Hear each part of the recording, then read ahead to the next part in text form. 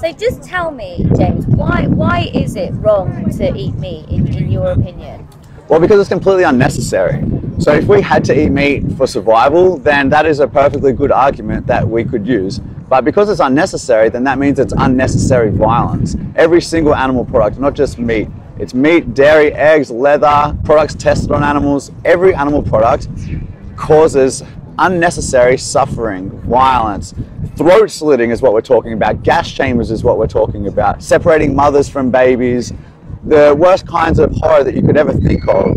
And so it's wrong because that doesn't need to happen. We don't need to put those innocent beings who feel pain and suffer just like us through so much horrific violence. We all agree that violence is wrong when it comes to humans and dogs and whales and dolphins. But what we need to do collectively is to extend that circle of compassion even further to pigs, cows, chickens, fish, to everybody. So that's why it's wrong to eat meat. Also, it's completely unsustainable. The leading cause of deforestation, species extinction, habitat loss, ocean dead zones, greenhouse gas emissions. It's all animal agriculture.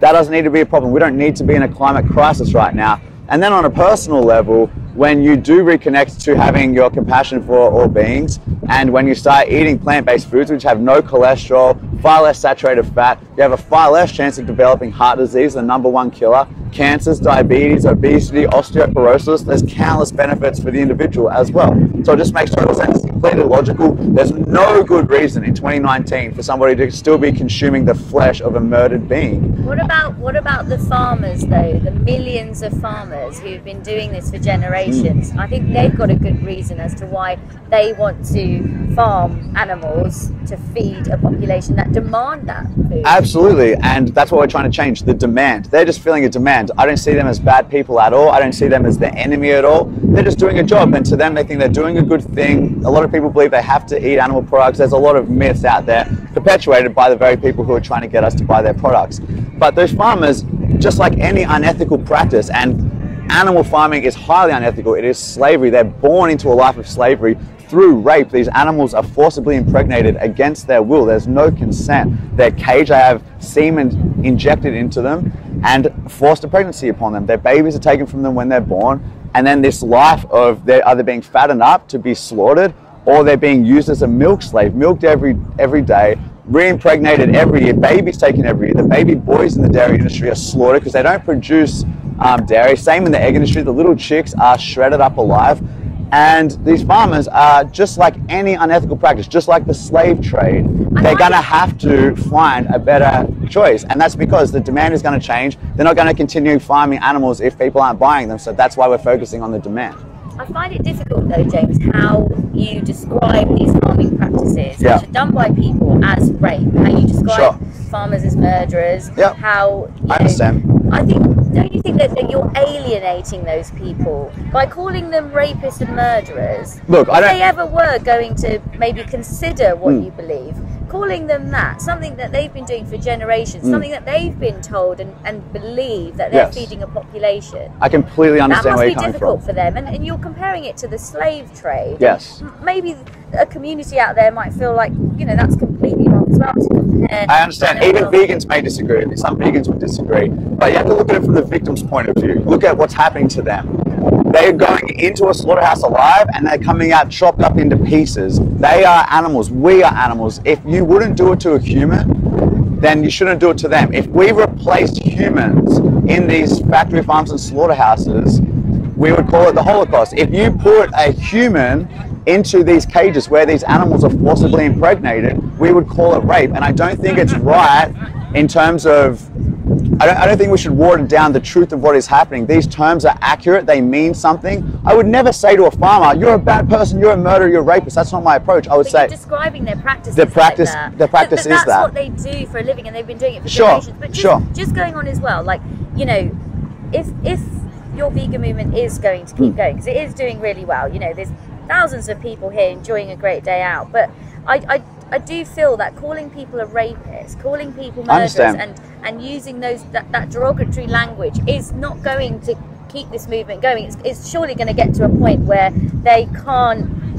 you know relate to anything you're saying I think that people can't that I'm sorry to interrupt you I'm just passionate about no, this no, no, I think that people can't relate because they don't see animals as deserving of those terms, and that's where I differ with those people. So when it comes to, we can disagree on whether using those terms is effective activism. We can have a conversation about that. Maybe it is, maybe it isn't. A lot of vegans would disagree with me in regards to using those terms as well. But I don't believe that we can disagree on what the practices are. Those animals do not give consent to be forcibly impregnated. Those animals are going into a slaughterhouse against their will. They're being forced in there. They're being shot in the head and having their throat slit open. That is a murder, in my opinion. Now, in the dictionary, it would be called slaughter, but it's the exact same act. It is taking the life from someone against their will. So I don't believe in watering down the words. I believe that using the correct language is a powerful way to help people connect, and it might stir up a lot of emotion. And that's good because what is happening is so horrific. It happens to 8,000 million earthlings every day we need to stir up emotion. We need to rattle people up and go, hey, what you're doing is very wrong, completely unnecessary. It needs to stop now. And if I have to use words like that, I don't want to. I don't want to make people feel bad, but I want this to end, and that's the right thing to do for the victim. So that's why I do use strong words. I don't always use strong words. I really try to do case by case basis. But when I have an opportunity to speak on the BBC, I'm going to take that opportunity to call it what it is. Okay tell me about the vegan camp out itself the choice of venue. There has been a bit of controversy about the fact that this is the newark showground. Yeah. It's it runs uh, the majority of events promote agriculture livestock mm. farming horse racing. Mm-hmm. so when you guys go that's what this place is going to be doing after that. Do, yep. does that sit right with you? I think it's an excellent opportunity to show an alternative of what we can do with this land. We can have a great festival a big party where people be, can be educated on how to live a more ethical healthy life um, it's also in this day when the world is not vegan to always be a perfect vegan is next to impossible. Sometimes you have to do things that aren't 100% in alignment with your ethics because the world isn't set up for you to be 100% in alignment with your ethics. For example, the road that we drove here on probably has some sort of animal product in it. Does that mean vegans don't use the road? No, you've got to be practical. Being vegan isn't perfection, it's impossible. It's about causing the least amount of harm as practically possible. When it comes to this place, I think it's an excellent opportunity to show that, yeah, you can do all those things that exploit animals, but guess what? There's other options for you to make money with this land, to make it a lucrative business as well that don't involve harming other beings. Do you think though the farming community who have found the decision to have the vegan camp out here quite disturbing, do you think they've got a point though that you're on their home turf, a society that is supposed to promote agriculture and livestock farming and dairy farming is allowing vegans who have an anti-farming agenda on their turf. Do, do you think they have a point? Oh, of course I do. I can understand why they're upset and if they didn't want to do it then they shouldn't have done it. So whoever chose to let this happen, you should talk to them about it. it. I'm sure a lot of farmers would have a problem with this and every vegan event ever, and so they should because we're bringing their operations to an end. That doesn't mean that I want farmers to suffer. I want replacements for them. I want them to farm other things. I want them to transition into other ethical businesses. It's not that I hate farmers, not at all. It's just that what they do is causing unnecessary violence and suffering, and that's what needs to end. It's not about the individual farmer, who's probably a great person who's just doing the traditional family job. No hate against farmers. You can hate the sin and love the sinner. Okay, great. That's brilliant. Cool. That was fascinating, James. Thank it's you. absolutely amazing to talk to you. I very much appreciate it. I feel it. really bad because this has got really cold. No, this is ours. Let's share it. but, but, I mean, you know, please go ahead and just tell me though. Do you actually know like completely what's in all this. Tofu, cheese. Well, it's vegan cheese. Olives are okay. Mm. This looks like tofu. Pesto. It looks like cheese. Okay, cheese. Um, I'll tell you. Yeah. Because I understand. People are worried. What is this fake meat? Yeah. Why? Why? Why would you make the meat? Why would you make the vegan yeah. alternative look like meat? There's a couple. Of, there's a couple of. Meat? There's a couple of reasons. The reason why I don't want to eat meat is not because I don't like the taste.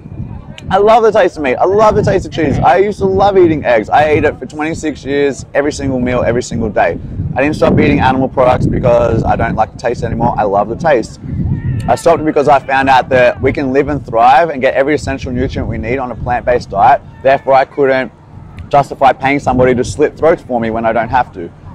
The beauty of the vegan meat two things. One, we can have all the flavors that we've all grown up with, all the textures. You can eat meat now and cheese without killing and all the other things to any innocent animals. And then on top of that, it's such a great way for people to transition. Literally, you go to the supermarket, instead of getting cow's milk, which is made for a baby cow, which went through so much suffering, you just go like that. You get soy milk, rice milk, almond milk, coconut milk. You want meat, get the vegan meat. It's right next door. It's so popular now, especially in the UK and, and um, Western countries. So my question would be why wouldn't you just eat the plant-based option which is also so much more sustainable for the planet and so much healthier this has no cholesterol it has far less saturated fat none of the hormones none of the antibiotics it has a higher less amount of pesticides the concentrated doses of pesticides are in the fat of the animals this is such a healthier option that tastes the same that looks the same this is what i always dreamed of when i was a kid why can't the junk food be like taste so good but be healthy. And that's what this is. It's a healthier version with the same taste and texture of the unhealthy cruel unsustainable foods. I think I think though you know you please tuck in, but I think what's interesting is why why does meat taste so good then? Mm. if if we're not even supposed to eat? i mean human beings are made of meat. Does that mean that we should eat well, I don't know if human beings taste. we good, taste but- like pig. at- we taste like pig. Does that is that a reason rape would feel good to a race a rapist. Is that a good reason to go and rape somebody? Of course not, no because your personal because your personal pleasure your right to have personal pleasure stops when it starts invading somebody else's right to live in peace and body bodily autonomy I think what's interesting though, and seems to be the biggest sticking point, is how Mm. you associate animals exactly the same like humans, and you call this suffering Mm. when animals are used for meat Mm. as suffering. You you call that suffering, and I think that's that seems to be the That's a big sticking point. Let me explain. Human beings are one species of about 6 million animals, I believe. Maybe it's 10 million. It's slipped my mind right now. We're just another animal. There's nothing special about us. Just like pigs, cows, chickens, and fish, we all have a heart. We all have a brain. We all have eyes that we see with, a mouth, ears, nose, families. We communicate with each other with a sophisticated language. Pigs can say 80 different things with their mouth and their, and their body language. They're highly sophisticated, intelligent beings. They're different communities. They look a little different. They're made the same the feeling of them getting stabbed in the throat is the same suffering as if someone stabs you in the throat.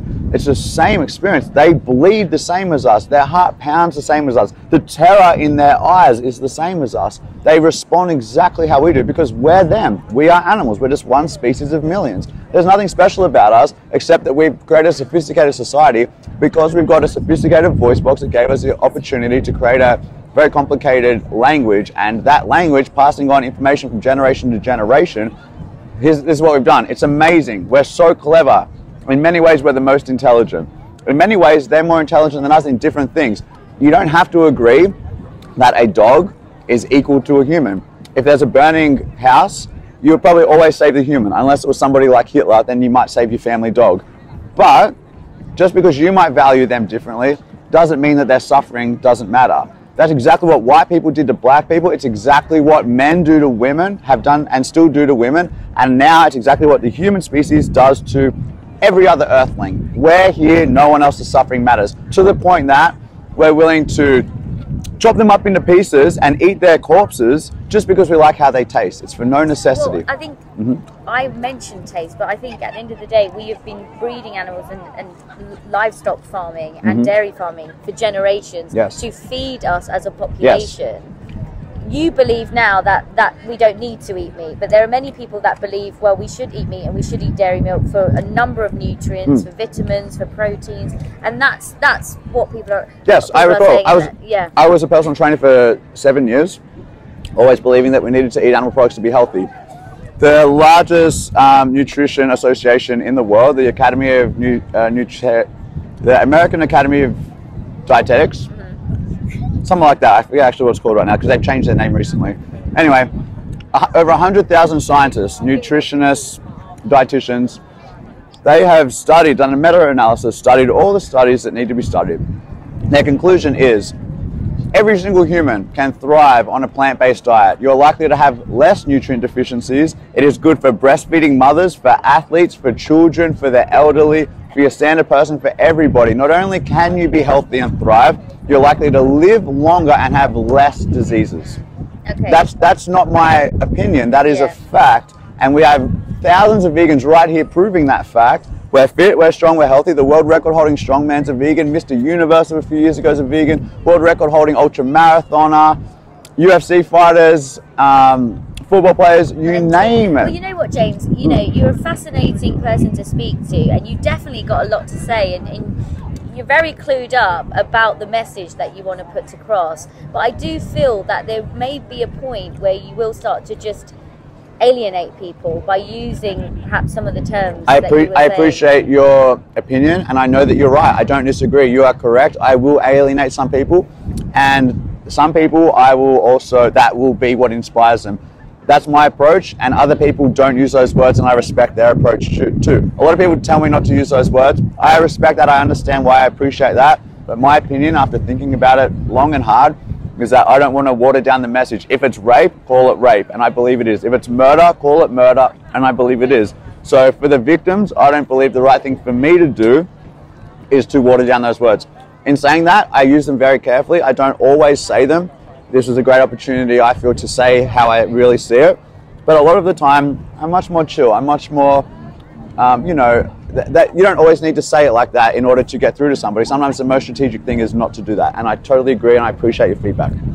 Brilliant. Well, thank you so much for speaking to me. I'm going to now actually have a slice Yes, of this. 'cause have your I'm pesto one. Looking at it. back down again. Okay, hold on.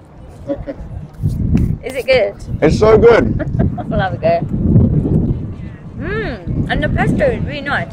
You have, you have your pesto one. You don't want the pesto. No, I do, but I want you to enjoy vegan food. That's what this It festival's is all really about. good pizza, Yeah, it's yummy. and I wouldn't really notice the difference that that doesn't taste like me. You would if never I'm know. being honest. You would never know. Since yeah, I heard you about can it. tell what you do it. So, so I'll just. I mean, all you need to do is watch Slaughterhouse footage to see why I do it. I've, I've seen a lot of the videos. That's so why I do That's it. why I'm here. That's why we're here. You know, Great, great. Here to kind of look at the message and, and obviously be balanced. Excellent. But yeah, Great okay, to hear. I'll just.